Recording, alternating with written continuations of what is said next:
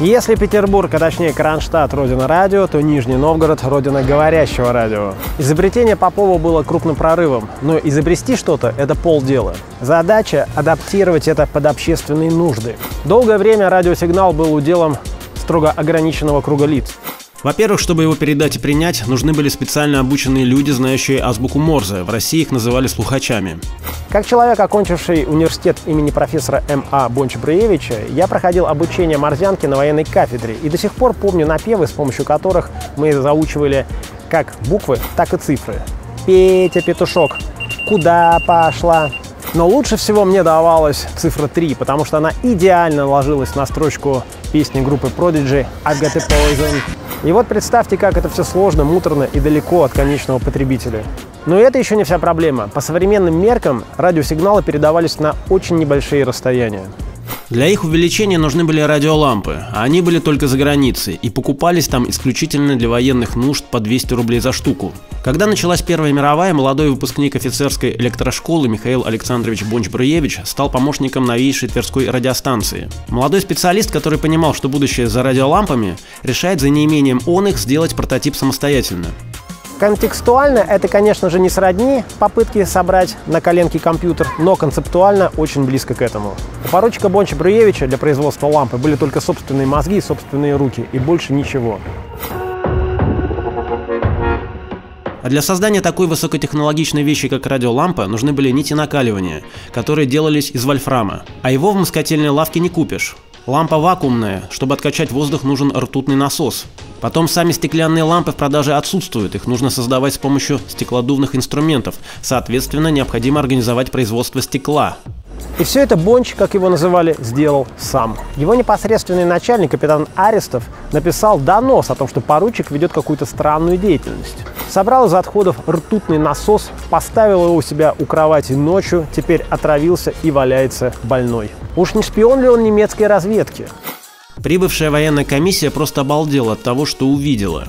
А увидела она лампу, себестоимость производства которой была почти в 7 раз дешевле, чем цена покупного иностранного аналога. Бонч-Бруевичу доверили обогатить военно-промышленный комплекс Российской империи стратегически важными лампами. Вот только империя в скорости приказала долго жить. Новый начальник Тверской радиостанции Лещинский довел до сведения Ленина, что у него в наличии есть уникальные наработки и уникальный специалист. И вот тут мы переходим к одному из ответов на вопрос, почему царская власть развалилась, а большевистская устояла.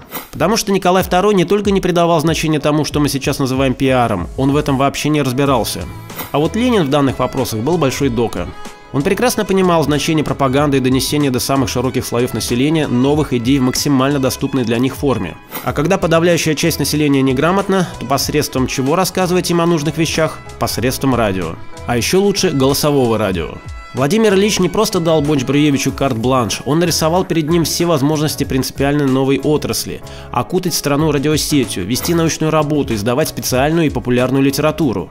Было принято решение перенести лабораторию сюда, в Нижний Новгород, по двум причинам. Город равно удален как от фронтов Первой мировой войны, так и от фронта гражданской.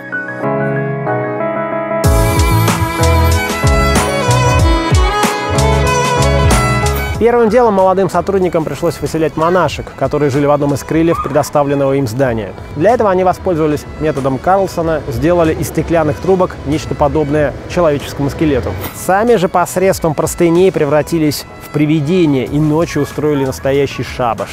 На следующий день монашки исчезли.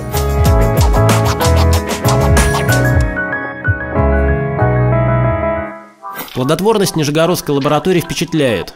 В 1919 году первый мировой прорыв. Михаил Александрович публикует теорию расчета триода, ставшую основой теории электронных ламп, которые начали выпускать. Помимо он их было налажено производство самих радиоприемников. А 27 февраля 1919 года в 10 часов 02 минуты состоялась первая в России радиовещательная передача. Вместо сигналов азбуки Морзе в эфире прозвучал голос человека, в прошлом подпоручика, а ныне лаборанта Петра Острякова. Алло, алло, говорит Нижегородская лаборатория. Раз, раз, как меня слышно? Чтобы голос мог достичь самых дальних уголков страны, а то и планеты, Бонч Бруевич первым в мире придумал лампу принципиально новой конструкции, которая обладала гораздо большей мощностью. На эту идею его натолкнул самовар, который ему напомнил лампу. Катод – это раскаленные угли внутри, которые нагревают анод, металлическую трубу, которая нагревает воду, то есть собирает тепло. Но ведь можно поменять логику местами. Вода может анод охлаждать. Благодаря этой находке удалось повысить мощность передатчика. И 17 сентября 1922 года из Нижнего Новгорода прозвучал первый концерт, программу которого составил Бонч Бруевич, он же сидел за роялем. Вскоре в Москве открывается первая в СССР радиостанция имени Коминтерна. Она была самой мощной в мире. Ленин породил яркую аллегорию, охарактеризовав радио как газету без бумаги и без расстояния. В руках новой власти появился мощнейший инструмент по продвижению новых идей в массы. И главная заслуга в этом принадлежит Михаилу Бонч-Бруевичу, сделавшим радио доступным для всех. Оставайтесь с нами и гуляйте по городу с нашими видеороликами. А можете посетить музей Нижегородской лаборатории, который находится у меня за спиной. Ссылка на сайт музея будет в описании под этим роликом. С вами был гид Павел Перец и команда проекта «Нижний 800».